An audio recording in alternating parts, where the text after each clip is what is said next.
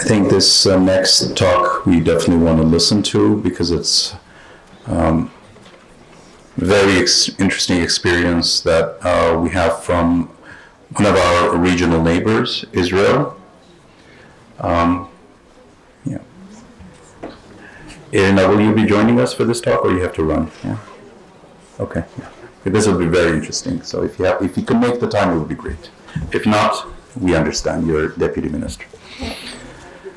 Okay. All right. So um, we have been uh, discussing. It was a very useful panel. I mean, a lot of uh, interesting ideas and and directions that Armenia needs to integrate into, into its long-term thinking about forests, because ultimately a lot of the the forest strategy and uh, and uh, policies that are going to be developed have to be aligned with how the, the financing world works and how it uh, incentivizes uh, investments and, and what kind of uh, conditions it places on, on national programs. Um, now we turn to a very interesting uh, uh, topic of how to do forestation and afforestation in places which have challenges. Um, and we have uh, our guest speaker is Dr. Omri Bonneh from uh, Israel's uh, KKL uh, Jewish National Fund. Uh, for many years, they have done forestation work globally. Uh, I'm sorry, in Israel, but also they've started exporting in some ways their know-how on, on what they have learned. I think the approach of KKL, the JNF is, is a, one that we need to look at carefully uh, from a technical uh, perspective of how to overcome the challenge of, of arid land um, and, uh, and, uh, and also doing it on a kind of evidence-based, science-based approach to, uh, to forestation. So with that much, maybe, Dr. Bonneh, we're very happy that you're here. You've spent the time, and uh, look forward to hearing uh, about your story. Yeah, yeah, presentation. Yeah, I'm just going to put it on, and this is the. Good morning. First, I would like to uh, thank the organizer for inviting me to present the Israeli perspective with regard to uh, afforestation and reforestation in uh, semi-arid uh, landscapes. I represent here, as Ali mentioned, uh, a non-governmental uh, organization uh, that uh, was founded in 1901 and more than 100 years is dealing with afforestation uh, in the land of Israel. After the establishment of the State of Israel in 1948, uh, a covenant was signed between the government of Israel and uh, Uh, in which KKL uh, received uh, the authority and the responsibility to take care for afforestation and uh, land reclamation uh, operations all over the country under regulatory role of the Ministry of Agriculture in Israel.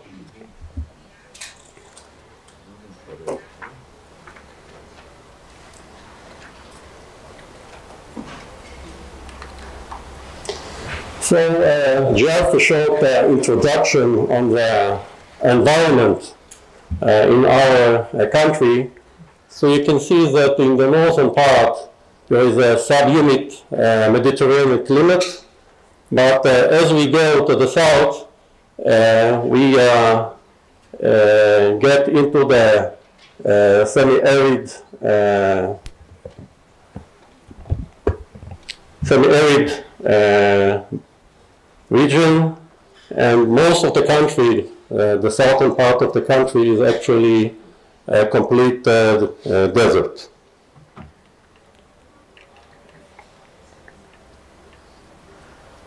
This is uh, uh, nowadays uh, demonstration of the maquis in the Galilee mountains of oaks and uh, terebinth trees This is uh, an example of the Aleppo pine and oak uh, growing on uh, Mount Carmel. But uh, uh, this is uh, our present first master plan that is unique because it designates more than eight woodland formations and explicitly uh, promote uh, biodiversity uh, in our forest. Uh, before I get uh, into the um, professional uh, presentation, I would like to, to note that this was not the case a hundred years ago uh, when KKL started uh, its uh, afforestation activity. Uh, the country was completely uh, denuded and uh, worst uh, situation was during World War One, in the beginning of the previous century, when all uh, the few remaining trees in some part of the country were, uh, were logged during this war. So uh, when KKL uh, started its uh, afforestation endeavor, uh, the landscape of the country were completely uh, denuded. so between 1920 and 1970, KKL adopted the classical Central European forestry approach and promoted planta dense plantation and mainly uh, monocultural plantation of uh, uh, Aleppo pine, which is the only uh, native pine species uh, in Israel. But uh, in the early 1970s, we realized that uh, putting all the eggs in uh, one basket is probably uh, uh it's not a promising approach uh, to uh, develop a sustainable forest. And we change our forestry policy and with the aim to create a mixed uh, multi-layer uh, uh, forest uh, and we also realized that some of the dense uh, early plantations um, were declining due to uh, overstocking and we understood that in semi-arid condition you need to give the trees enough spacing if you uh, want that uh, they will uh, grow and be healthy. Here I show you the changes in the use of broadleaf and coniferous species in our uh, plantations along the years. And uh, as you can see, uh, the use of uh, native broadleaf species uh, grew considerably since the 1980s, whereas the use of conifers and especially pines gradually dropped since then.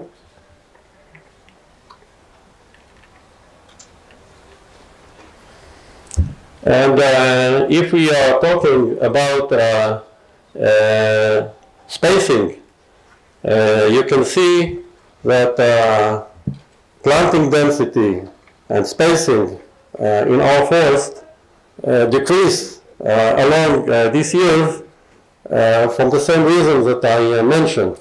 The wish to create more sparse forests uh, where the trees have uh, uh, enough space to receive the water and mineral uh, that they need for their uh, uh, growth.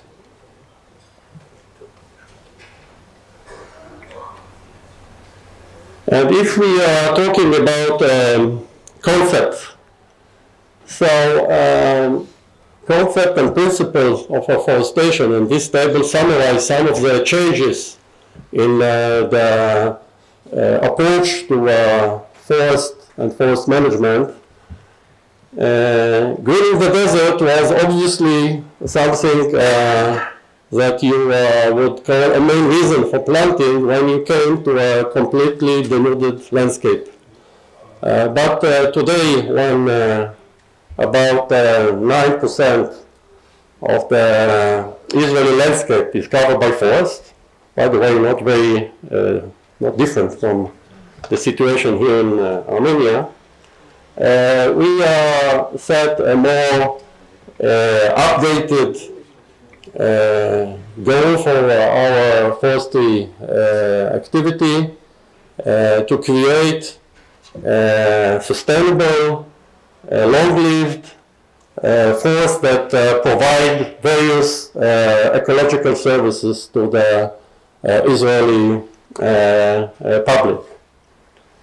And uh, if uh, before we adopted the Central European classical forestry approach with dense monoculture, we are now uh, speaking uh, about mixed, uh, uneven age, and uh, multi-layer forest. and we, in a way, try to create semi-natural forest. a tough mission. If in the past timber production was an obvious goal uh, to all our plantation, it is uh, now considered more as a byproduct of uh, the forest management and not a primary goal as uh, uh, itself. Uh, with regards to the methods of afforestation, we try now to make sure that afforestation program minimize uh, the damage that is caused to the environment by using mechanical site preparation mainly in our case that uh, are pretty small and uh, and don't uh, make much damage to the soil. Uh, the limits uh, of use of uh, herbicide are just a few examples on how we want to minimize the impacts of the forestation program on the environment. And of course, unlike in the past where uh, according to the agricultural approach, if there were some um, remains of native uh, bush and trees in the site, they were plowed and to clear the, the site uh, only to the uh, planted the trees and now they are well preserved in order to create a mixed forest uh, uh, that in our eyes is uh, much more resilient.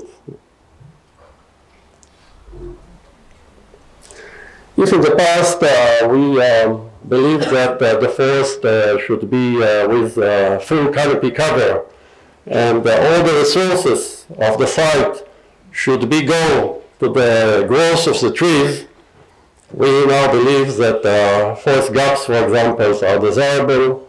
And we, uh, through uh, a series of selective thinnings, open up the forest canopy cover in order to enable the understory uh, to uh, develop and uh, this way to increase biodiversity and increase the resilience of the forest.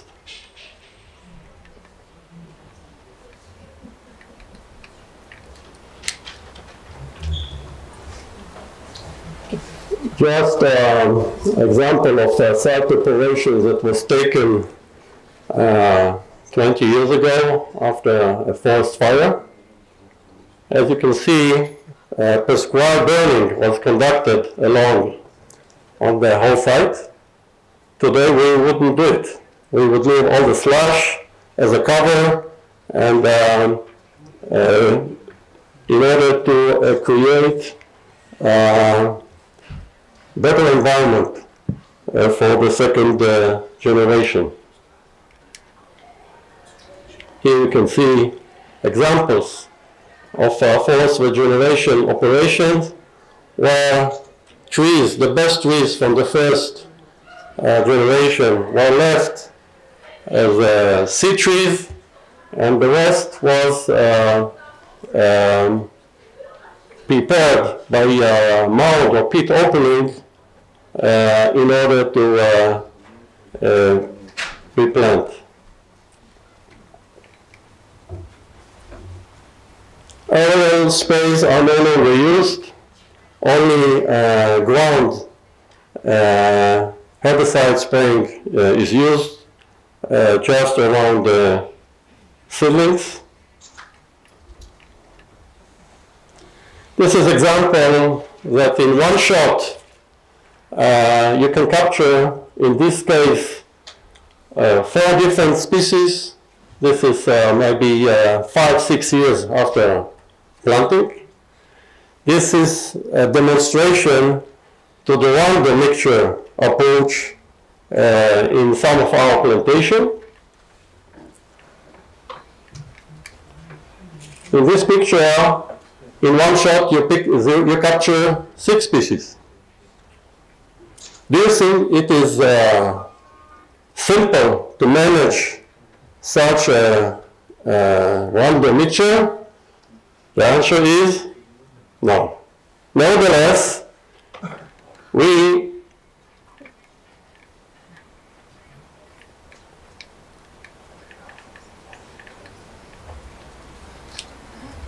Why it is not simple? You can see in the next picture. What do you see? A suppression of the oak tree that was planted together uh, with uh, brutia pine tree. Uh, this is a 16 uh, year old plantation. And the meaning is that if you uh, choose the random mixture approach, you need to conduct uh, selective early thinning to remove some of the pines in order to give space to uh, the, the boat. It can be done. It's sometimes complex, but the outcome is that you receive a mixed, multi-layer uh, that resemble very much the pictures that I showed you of Aleppo pine and oak from uh, Mount Carmel, the native uh, forest that we have on Mount Carmel. This is an example of uh, early such thinning uh, that uh, some of the pine were removed in order to open up for the uh, oaks and the terebinth trees that were planted. So all that you see here, it's planted. Sometimes we have a natural regeneration of these species under the pine. Uh, it is well known that pine can uh, enhance the growth of uh, native species. So the pioneer uh, generation of pines uh, sometimes is required in order to help the native broadleaf uh, to uh, develop and grow. And in the second generation, after the pine will be removed, you will have the choice either to continue and uh, manage a mixed forest or return to a formation of uh, broadleaf native species uh, alone, without, without uh, pine. This is another example of a 16-year-old mixed plantation with uh, uh, oak in the understory and uh, brutia pine in the upper story. But there is another option, not to uh, make a random mixture, but uh, block, uh, uh, planting different uh, species in, in blocks of various. Uh, so here, do I have a pointer?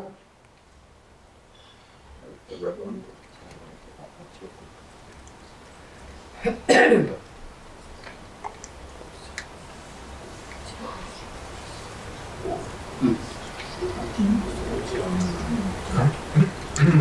well, well. I need to go.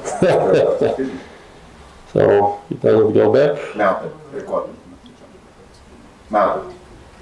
One more, one more, backward.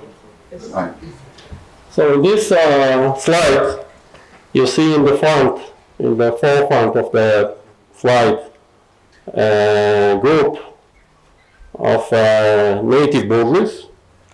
Behind you can see stone pine and uh, brutia pine in separate blocks. And behind you can see another block of uh, eucalypt.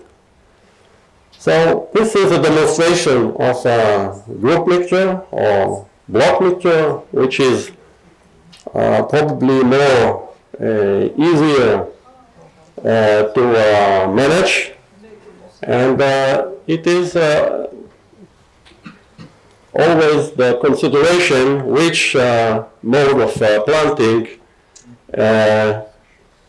to adopt.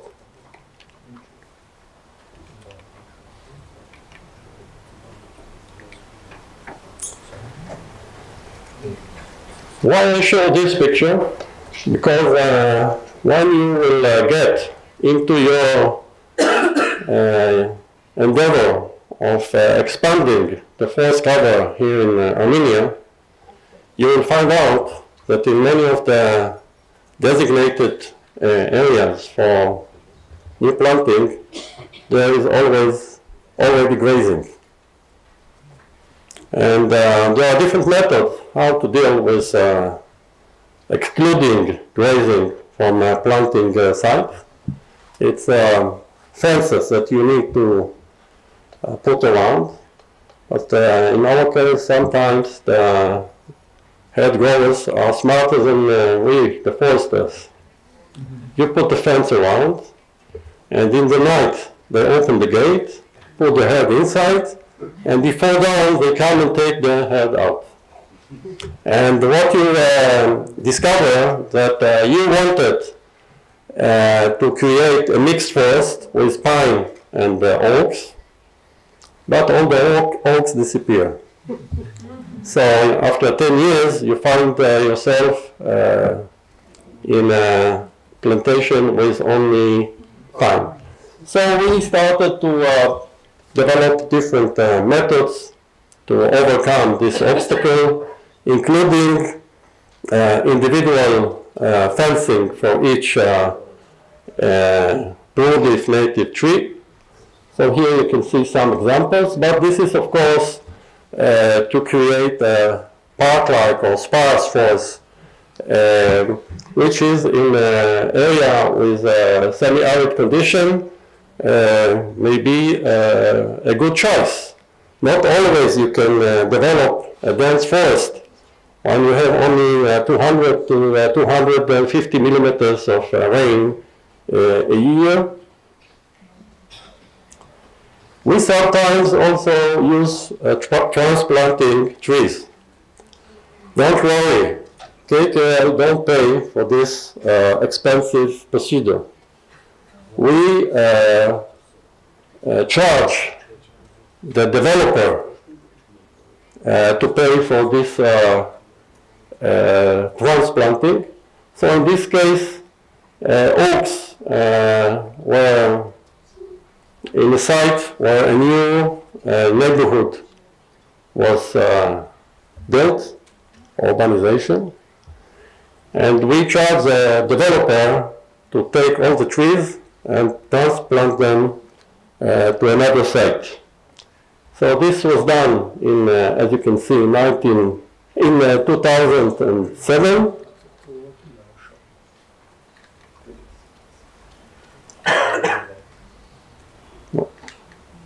And this is how it's looked uh, 11 years later on. Instant force. This is not the ma major uh, uh, activity we do, but just for the demonstration and for the thinking, this method can be very useful, especially in uh, urban forestry, where it is uh, more feasible uh, to increase the investment. You know, when you're making gardening in a city, you're anyway using pretty large seedlings. So they are uh, also expensive. So if you can uh, use to some extent transplanting, it can be uh, additional option.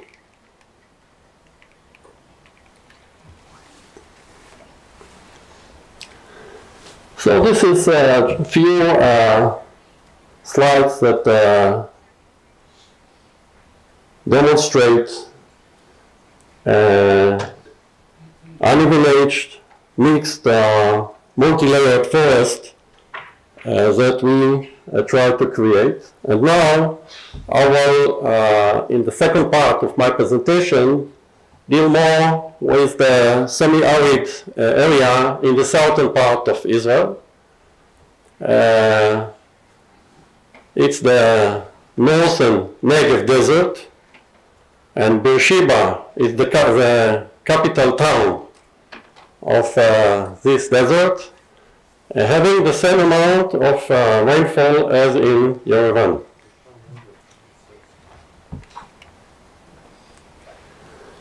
These uh, landscapes were completely uh, destroyed along the, the year by overgrazing.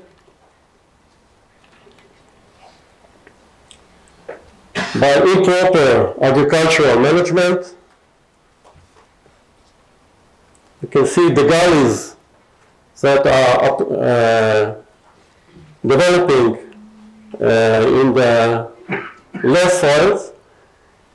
Here you can see uh, ancient Byzantine cistern, uh, and you can see that the inlet for water uh, a hundred, a thousand and four hundred years ago is two meter above the soil level of today, indicating on a loss of uh, topsoil of about one millimeter and a half a year.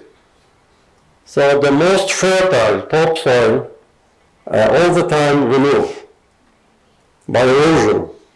So you, you can understand why these landscapes are uh, such uh, denuded and hard to uh, uh, these are some actions that we do in order to minimize uh, soil erosion. This is before and this is after. So we try to uh, take all the dry streams, dry river belt, and uh, plant them. And uh, then we uh, help the farmers uh, and ourselves by constructing different uh, instruments to uh, reduce soil erosion from the agricultural field and encroachment of the gullies. When you have less than uh, 250 millimeters of rain a year, you need to use different uh, methods of water harvesting. Liman, like we see here, is one uh, method. It is used in Israel mainly along the roads, the highways, and uh, by, by this method we create relatively small and that receive sometimes only once a year a good flood, and that's enough for the trees to survive the whole year. Uh, but if we, uh, by, by, the way, this could be uh, also conjugated with urban forestry, where you can use the drainage from the street and from uh, residential and industrial zones uh, into a nearby open area and uh, use the runoff water to create such small growth. Another example here, uh, the it was built with uh, stones, not with uh, earth embankment. Uh, we didn't invent it. The Nabatean that uh, inhabited the Negev desert more than thousand years ago, they teach us that this can be uh, a good way to store uh, water uh, along the wadis, the, in the, in the semi-arid and even desert area. And here uh, you can see that we are using it on a large scale afforestation.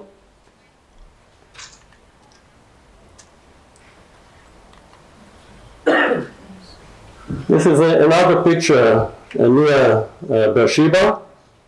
You can see here to Ridge that were uh, constructed uh, and uh, they uh, collect the water and enable the planting along this contour. here you can see 20 years later on, along this contour uh, regions, uh, sparse forest, you cannot expect to have in such a dry uh, region a dense forest.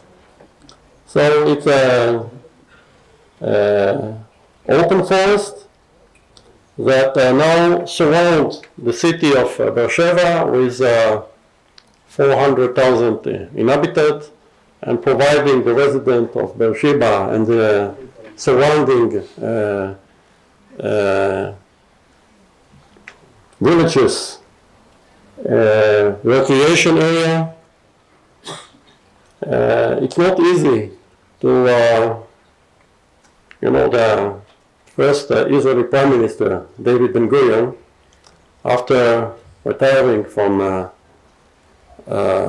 being a politician, uh, he went to the Negev desert and until uh, the day he died, lived in a small hut in, uh, in the desert in area that you have less than 100 millimeters of rain a year. And uh, he uh, wanted to uh, show an example and to attract people to live in the peripheral zone and not in the center. So one of the ways to uh, move people uh, to the peripheral zones, to rural area, uh, is enabling them to be in an environment that is more attractive. So this is uh, all I can say in the, in the short time that I have. But if I need to give you some concluding uh, remarks is first of all that you can learn nothing from uh, all that I've said. you have to develop your own policy, uh, your own strategy. Uh, we can give you some advice, but you are uh, to decide which of our advice is uh, good for you. Uh, 50 years, KKL used the Central European forestry approach before we realized that it doesn't fit to our uh, conditions. It is important to set goals. Why you want to expand the forest cover. And uh, this is on the national level, but uh, of course, uh, each specific planting site must have a predetermined goals of itself. And these goals don't need to be the same. In some sites, timber production can still be a major uh, goal.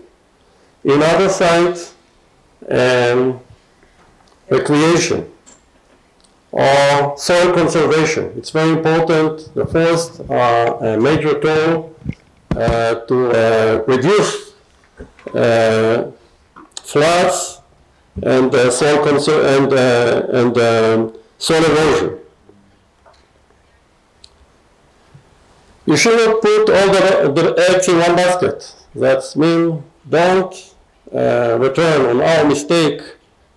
And I understand that also some of the early plantation here from the Soviet time, monocultures of black pine or, uh, uh, are not a promising uh, way to create a sustainable forest. So you will have to find your own way how to create mixed forest. And uh, sometimes the use of uh, coniferous species is uh, a must in the first generation in order to create conditions that will allow the native, mainly broadleaf species here in Armenia and also in Israel, uh, to take place. In semi-arid conditions, it is important uh, that the forest will not be overstocked. So you need to uh, conduct uh, and thinning uh, can be done in a way that provide also uh, some wood production, and uh, in rural places uh, we uh, understand that uh, it can be uh, an important service to the villagers, and we try to do the same in Israel. That means to allow the villagers that want to take wood uh, from thinning operation in uh, uh, our forest. As I mentioned, in areas where you have less than 250 millimeters of rain, it is important to use uh, water harvesting techniques. But you should know that water harvesting techniques, it's not uh, plant and go. Uh, they need uh, maintenance. And uh, sometimes when you have floods, also the structures that you uh, built in order to store the water, they are destroyed. And uh, there is a need to maintain them uh, on a constant uh, basis.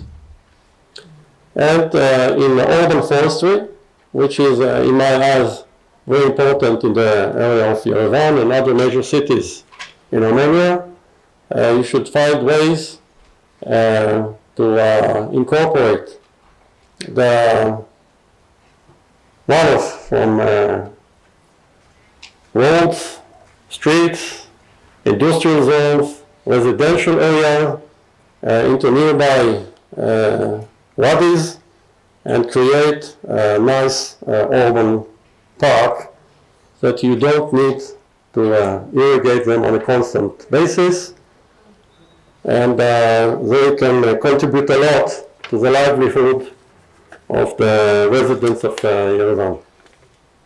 Oh, thank you.